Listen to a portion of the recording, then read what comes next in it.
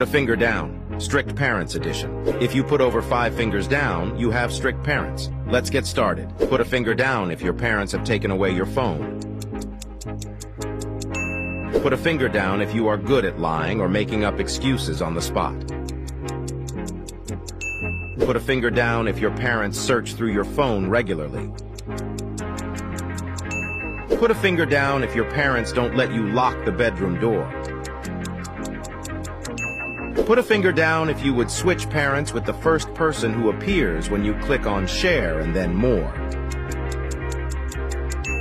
Put a finger down if you are good at hiding your true emotions. Put a finger down if your parents limit your screen time. Put a finger down if you have stricter parents than the first person who pops up after following. Put a finger down if you get grounded all the time. Put a finger down if you tried to show your parents a meme or joke and it turned into a lecture. Comment how many fingers you put down. Like and follow if you shower every day.